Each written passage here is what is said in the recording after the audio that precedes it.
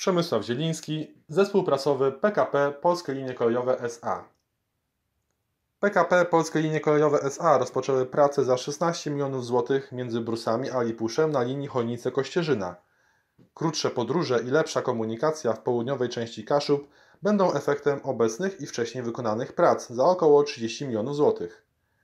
Roboty są finansowane z budżetu. Prace zakończą się przed wakacjami.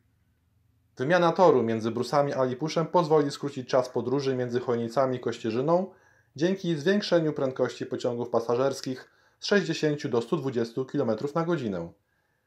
Na 10-kilometrowym odcinku linii PLK wymienią podkłady oraz szyny. Prace już się rozpoczęły.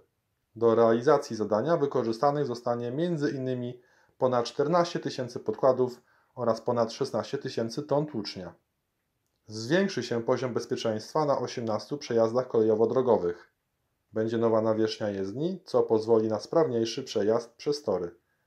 Prace przewidziano do końca czerwca. Wartość prac finansowanych ze środków budżetowych przekracza 16 milionów złotych.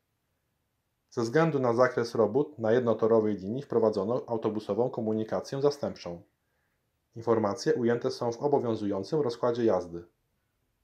Wykonane i prowadzone prace między Chojnicami i Kościerzyną pozwolą skrócić czas podróży o około 20 minut. Po zakończeniu robót i uzyskaniu wymaganych pozwoleń czas przejazdu pomiędzy miastami skróci się do około godziny.